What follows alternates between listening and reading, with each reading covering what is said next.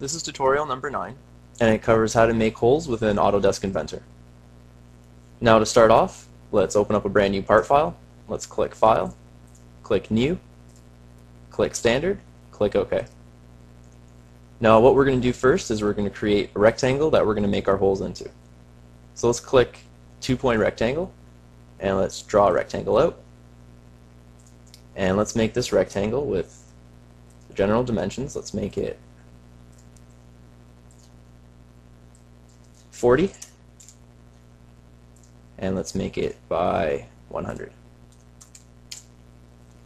Now let's click return, click extrude, and let's extrude this out. We'll just do it 10 millimeters.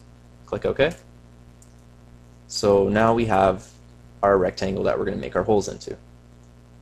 So here, let's put this on a little bit of an angle so we can see what we're doing. Now let's click hole, and through here, we're able to make different kinds of holes, and you can see the preview. We can make a drilled one, we can make a counterbore, or we can make a countersink.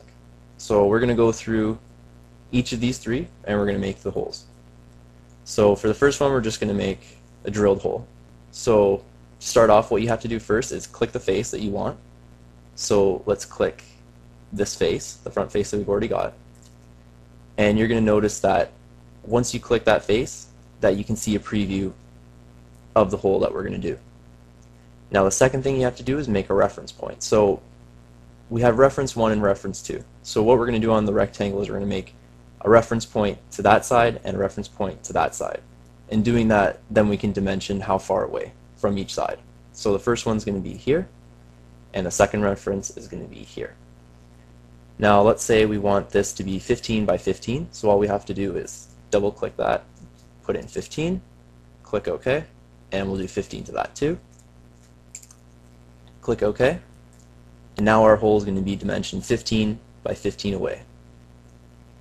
Now if we look to the side here, we're also able to measure out different depths and stuff. So right now our hole depth is 8 millimeters plus 3 millimeters in width. So if we click OK, we're going to have our hole and if we rotate it around, you can see in that it went down. It's gone down the 8 centimeters, and that the width of it, or the diameter, is 3 millimeters. Now we can also change this if we right click on it, click Edit Feature. We can change the depth that it goes down to. Let's make it 2 millimeters. Click OK. And now when we zoom in, it's only gone down 2 millimeters. And if we right click it again, click edit feature, we're also able to change the point at the bottom. We can either make it flat or we can make it with an angle. Right now it's at 118 degrees. So you're able to adjust various dimensions and you can make the hole exactly how you want it. So for now, let's put it back to 8. Click 8. Click OK. And that's our first hole. Now let's make our second hole. Let's click hole. Let's click on the counterbore and again, we're going to have to click the face. We're going to have to click one side. We're going to have to click the other side. And now we have our dimensions. So for this one, let's make it 50 by 25. And again, as you can see like the other one, we're able to adjust various dimensions and diameters, and we can make it flat bottom, we can have it an angle bottom, so it's, it's all up to you how you want to dimension it. So for this one, let's just click OK. And now if we zoom in, we can see that we have the counterbore at the top and the hole drilled in.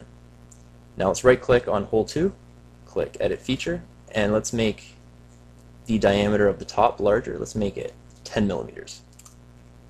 Click OK. And now you can see that we've dimensioned that and we've made the counterbore much larger. Now let's make our third hole. Let's click hole, click countersink, click there. And now we have to click one side, and then we'll click the other side, and let's dimension this 20 by 20. And again, we can adjust all the different parameters on the side here, flat bottom, angled bottom. We'll just leave it how it is right now, click OK, and if we zoom in, we can see how we made it. And that concludes our tutorial on how to create holes within Autodesk Inventor.